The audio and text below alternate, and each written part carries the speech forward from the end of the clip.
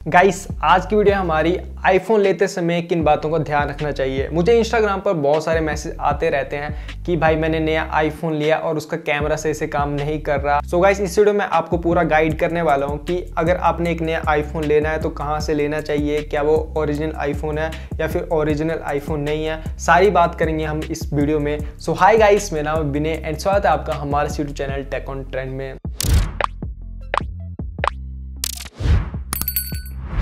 So basically guys जब भी हम नया आईफोन लेने की सोच रहे होते हैं तो हमारे सामने तीन ऑप्शन होती है। नंबर एक रिटेलर के पास जाएँ और नया आईफोन ले लें और नंबर दो हम ई स्टोर का इस्तेमाल करें अमेजोन या फ्लिपकार्ट से नया आईफोन ले लें और नंबर तीन हमारे पास होता है कि हम फ़ौरन से आईफोन इंपोर्ट करवा लें। सो गाइस इन तीनों के बारे में हम बात करेंगे इस वीडियो में, कहाँ से आईफोन लेना चाहिए और कहाँ से बेस्ट होता है। और अगर आप सेकेंड हैंड आईफोन लेने की सोच रहे हैं तो उसके ऊपर मैं एक अलग से वीडियो लेके आऊँगा कि कैसे पता लगाया जाए कि इस आईफोन की क्वालिटी कैसी है।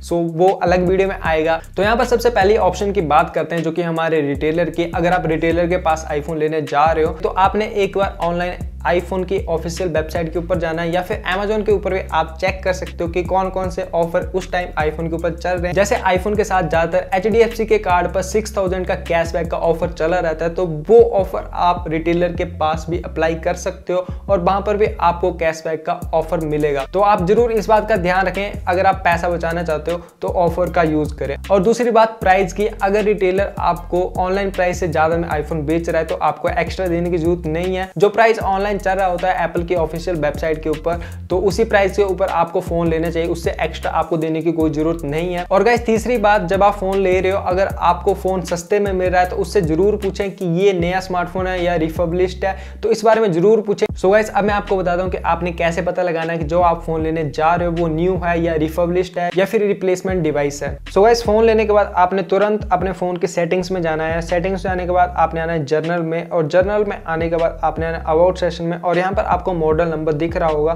तो यहाँ पर मॉडल नंबर में आपको जो फ़र्स्ट अल्फ़ाबेट दिख रहा होगा तो ये अगर एम है तो आपको घबराने की कोई ज़रूरत नहीं है। आपको फ़ोन बिल्कुल न्यू है और अगर आपके फ़ोन के मॉडल नंबर में सबसे पहले एन लिखा हुआ है, इसका मतलब है कि आपका फ़ोन जब वो रिप्लेसमेंट डिवाइस है तो यहाँ पर रिप्लेसमेंट डिवाइस वो होता है जब कोई नया आईफोन लेता है और उसमें कोई प्रॉब्लम आ जाती है लाइक उसका माइक नहीं चल रहा या फिर कोई भी प्रॉब्लम आती है तो आईफोन के सर्विस सेंटर वाले जिस बंदे ने वारंटी क्लेम की होती है, उसे एक नया रिप्लेसमेंट डिवाइस दे देते हैं। वो होता है हमारा रिप्लेसमेंट डिवाइस जो कि हमारे मॉडल नंबर में एन से स्टार्ट होता है। और यहाँ पर मॉडल नंबर के आगे एफ़ लिखा हुआ है तो इसका मतलब है कि आपका जो फ़ोन है वो रिफर्बलिश्ड है। तो जो आईफोन में थोड़ी बहुत प्रॉब्लम होती है आईफोन वाले उन डिवाइसेस को रिपेयर करके फिर से मार्केट में लेके आते हैं। वो हमारे रिफर्बलिश्ड मोबाइल्स में आते हैं। तो यहाँ पर आईफोन का अपना रिफर्बलिश स्टोर भी है, जो कि आप यहाँ पर देख सकते हो। इसमें यह होता है कि इसमें थोड़ी सी प्राइस कटिंग होती है। थोड़ा सा आपको कम प्राइस में आईफोन मिल जाता है और साथ में आपको वारंटी भी देता है एप्पल तो अब आते हैं अपनी दूसरी ऑप्शन की तरफ़, जो कि हमारा ई स्टोर अमेजोन और फ्लिपकार्ट तो जब भी आप अमेजोन और फ्लिपकार्ट से स्मार्टफ़ोन ले रहे हो तो वहाँ से तो आपको ओरिजिनल स्मार्टफ़ोन मिलता है। तो यहाँ पर बात ये है कि जब आप आईफोन ले रहे हो तो एक बात का ध्यान रखें, ऊपर जो यूआरएल होता है वेबसाइट का, उसे ज़रूर चेक करें। अमेजोन डॉट इन होना चाहिए, या फिर फ्लिपकार्ट डॉट कॉम ही होना चाहिए। यहाँ पर बहुत सारे लोग फ्रॉड के शिकार होते हैं। यहाँ पर सेम ही इंटरफेस होता है पूरी की पूरी वेबसाइट का। जैसे कि आप इस स्क्रीन रिकॉर्डिंग में देख सकते हो, पूरी पूरी अमेजोन की बेसिक की ही बेसी वेबसाइट लग रही है। जब आप यहाँ से स्मार्टफ़ोन ले लेते हो तो आपको स्मार्टफ़ोन आप तक नहीं पहुँचता है। और जो पेमेंट होती है, वो अमेजोन वालों के पास नहीं जाती है, वो जाते हैं उस फ्रॉड बंदे के पास में।